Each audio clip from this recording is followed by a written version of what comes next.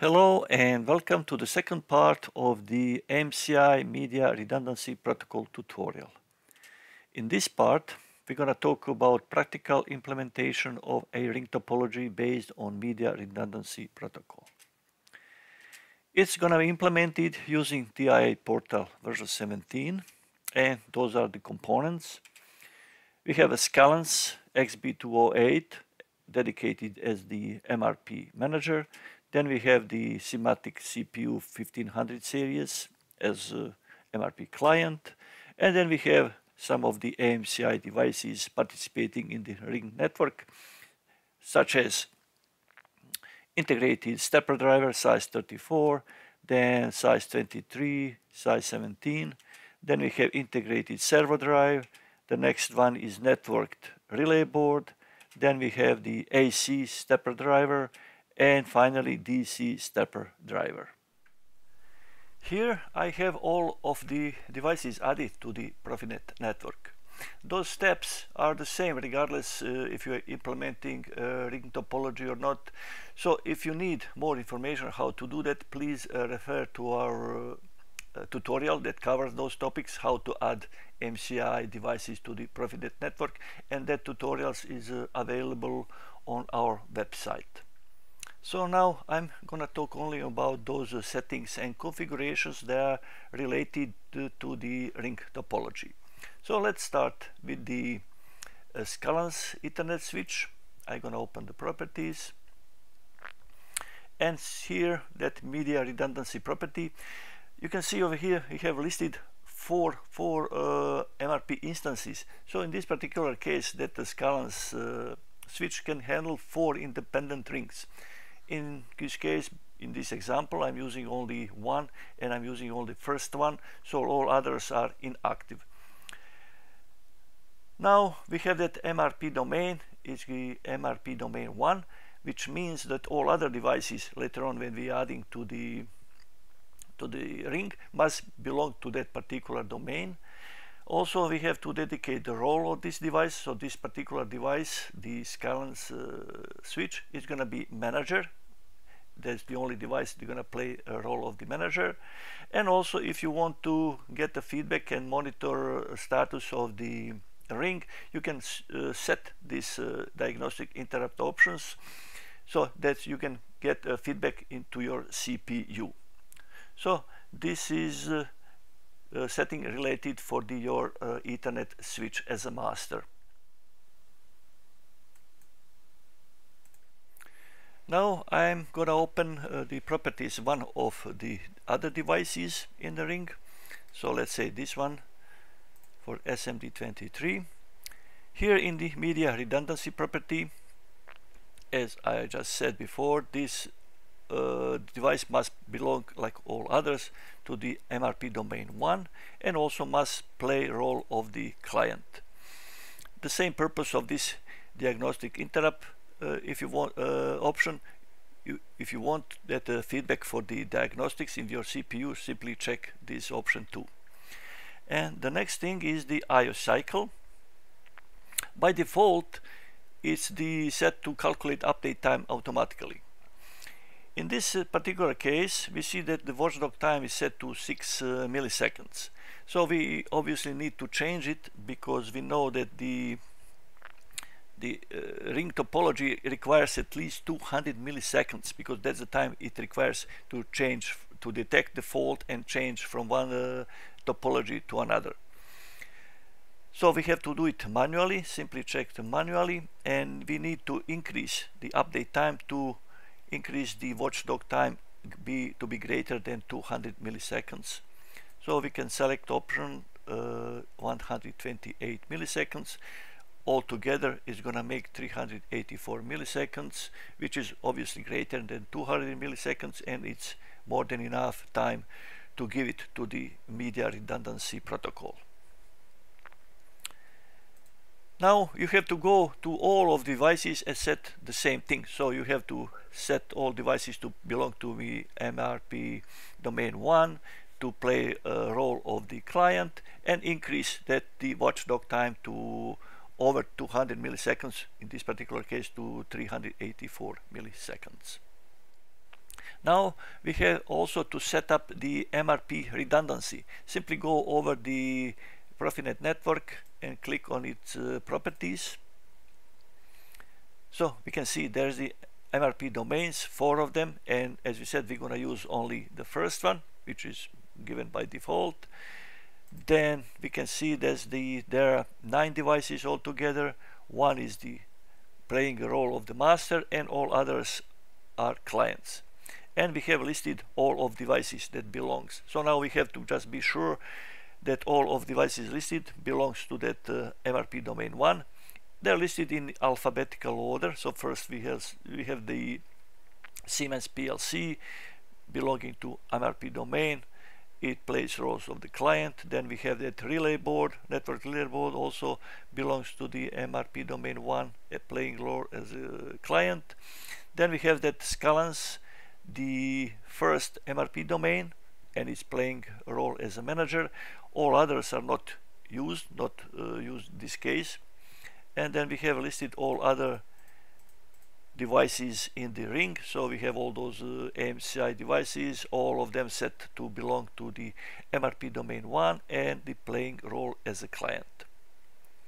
So that part is done.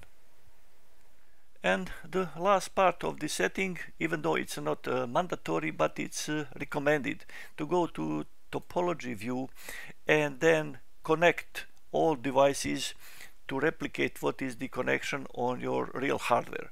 So for example, in this case, I have a Scalance that port 2 connected to the, let's say, port uh, 1 of the SMD34, and then port 2 from here to port uh, 1 of the SMD23, and so on and so forth. So simply follow whatever is the uh, real connection in your hardware, or will be real connection in your hardware, and set it up. The reason is, as I said, it's not mandatory, but it's uh, good to have it later on. You will see in this example, it's much easier to troubleshoot broken ring. So if the ring broken between any of those two devices or it's eventually one device failing, you can see right away here in this uh, topology view. And as a last step, we have to download it to the network. So simply go to compile the configuration, download to the network, and then after that we can go online and see performance of the of the ring. So now we are online. So you can see that all devices are connected. There's no issues. They're commu communicating. And also from topology view, we can see it in more details. The, we can see uh, what port of each device is connecting to what port to the neighboring device. Here I have all the devices connected in the network in the ring topology. So down there you can see we have that uh, SIMATIC uh, Siemens CPU. Next to it is the Siemens Scalance Ethernet switch. Then we have all the other AMCI devices starting with the integrated stepper driver size 34. The next one is size 23, then size 17. This one is the integrated servo drive. The next one is the network relay board. Then we have the AC stepper driver and finally DC stepper driver. Here I have a small profile running all the drives, so I have that uh, relative move running, running back and forth clockwise and counterclockwise, and also some profile running on the relay board. So as you can see, the ring is closed, there is no issues, all the motion runs smoothly. So now I gonna break I gonna break the ring and see what's gonna happen. So I'm disconnecting this cable and as you can see all the motion continues to work and profile on the relay board without any problems. And we can still see that the uh, devices of course uh, reporting the issue and then the CPU also has the indication that there's the issue with the ring but everything still works fine and smooth. We can also take a look in the topology view and see what's going to happen in a moment when I'm disconnecting the uh, cable from the relay board. You see how that reacts, the relay board and the AC uh, stepper drive uh, indicating there is the broken ring between them. So this is the reason why it's strongly recommended to set up also the topology view. Obviously now it's much easier to troubleshoot the ring in case that you have a problem within the ring. Now I'm gonna plug back that uh, cable and we'll see what's gonna happen. So as you can see the the motions running still nice and smooth without any interruption profile on the relay board also runs uh, smooth. And you, you can see down there the CPU doesn't uh, indicate any error which means that the network itself reconfigured back to the original uh, ring topology. So this now closed rings and everything run smooth and nice.